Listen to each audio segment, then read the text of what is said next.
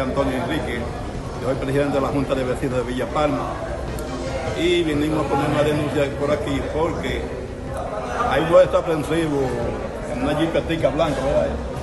Están dando la tarea de hacer vagabundería ahí en la gobernación Ribra de Jaya.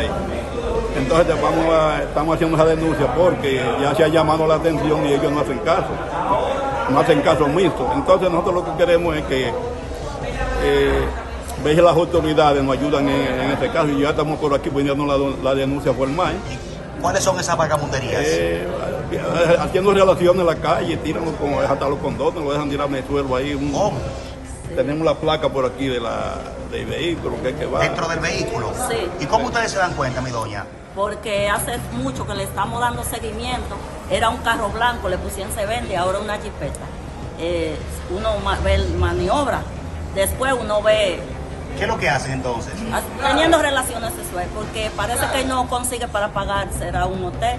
Y además estamos por aquí para una denuncia, porque de madrugada los ladroncitos no nos dejan, nos azotan, se metían en salón parroquial y rompieron la persiana. Como no le dejamos nada para llevar, dejaron su materia fecal en la puerta.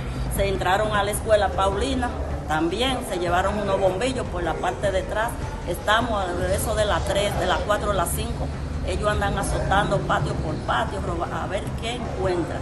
¿Dónde es eso, mi doña? En la urbanización Rivera del Jaya. ¿Qué pedirle entonces a las autoridades, mi doña? No, que nos ayuden ahí, porque usted sabe que uno no quiere, porque ya agarramos ladroncitos, los vamos a trillar. Primeramente estamos poniendo parte aquí porque ya nosotros estamos decididos a lo que sea y no queremos eh, caer en problemas, porque usted sabe que usted agarra un ladrón, le da cuatro palos, cuando ve usted coge un carcelazo. Entonces lo que queremos es que las autoridades nos ayuden en este caso. ¿El nombre suyo es? Antonio Enrique Paulino. ¿Y usted, mi doña? María Luisa Vázquez Castillo, presidente de la Junta de Vecinos, urbanización Rivera del Jaya.